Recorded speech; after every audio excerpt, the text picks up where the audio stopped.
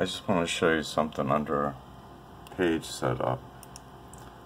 You can make sure that you're in the landscape mode because for landscapes obviously you want it sideways.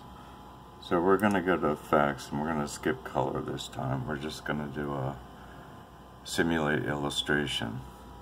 So everything's okay. I'm going to hit OK. And now that's a preview. So I got to decide I want a border on it. So we're going to do an 8 by 10 hit print.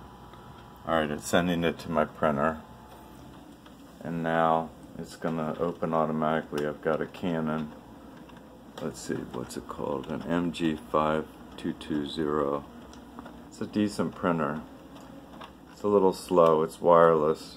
Slow because the, the whole computer brains is worn out. It's kind of slow, but it's sending it. I'm low on ink, as you can see. But there, it just opened automatically. And hopefully I have enough ink to print. We'll see.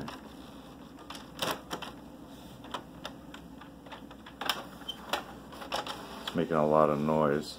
For some reason I have to load from the rear right now.